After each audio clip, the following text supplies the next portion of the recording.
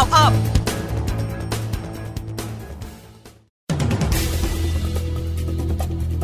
17นาฬิกา3นาที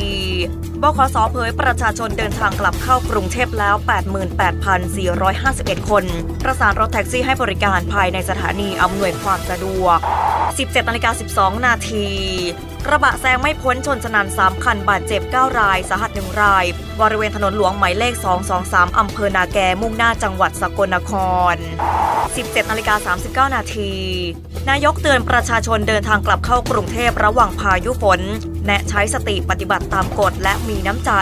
กำชับเจ้าหน้าที่เพิ่มความเอาใจใส่ดูแลเป็นพิเศษ ร้อมขอบคุณความเสียสละแม้เป็นวันหยุดล่าสุด 17นาฬิกา47 นาทีประวิทย์ขอบคุณทุกฝ่ายร่วมดูแลความมั่นคงปลอดภัยประชาชนตลอดสงกรานต์61 ย้ำจำเป็นต้องบังคับใช้กฎหมายสร้างวินัยจราจรอย่างต่อเนื่อง